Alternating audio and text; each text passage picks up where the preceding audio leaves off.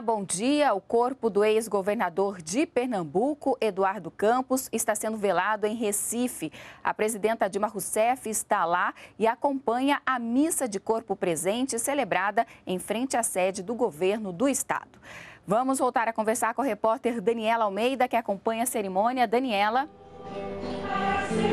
Malu, a missa campal que ocorre aqui na Praça da República, em frente ao Palácio do Governo, Palácio do Campo das Princesas, que é sede do governo de Pernambuco, está na reta final.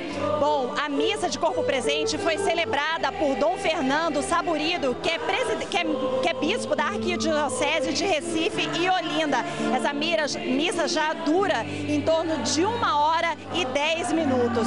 Várias autoridades estiveram presentes na missa campal que está sendo celebrada até este momento.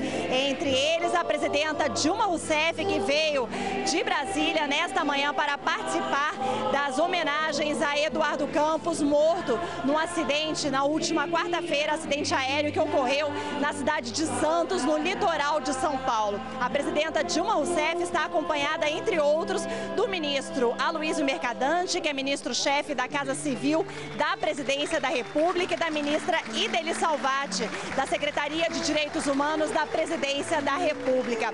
O velório vai ocorrer durante todo o dia e o enterro está marcado, está previsto para 5 horas da tarde no cemitério Santo Amaro. Os restos mortais de, do, de Eduardo Campos serão depositados no mesmo local onde estão enterrados os restos mortais do avô dele, Miguel Arraes, também político, morto há nove anos. Mas, segundo previsões do governo estadual, todas as pessoas vão poder dar, uma, dar um último adeus e prestar homenagens ao ex-governador de Pernambuco, Eduardo Campos, até é, que seja realizado este enterro, que inicialmente está previsto para as 5 horas da tarde. Malu. Obrigada, Daniela. E nós podemos voltar a qualquer momento com outras informações. Continue com a gente aqui na NBR, a TV do Governo Federal.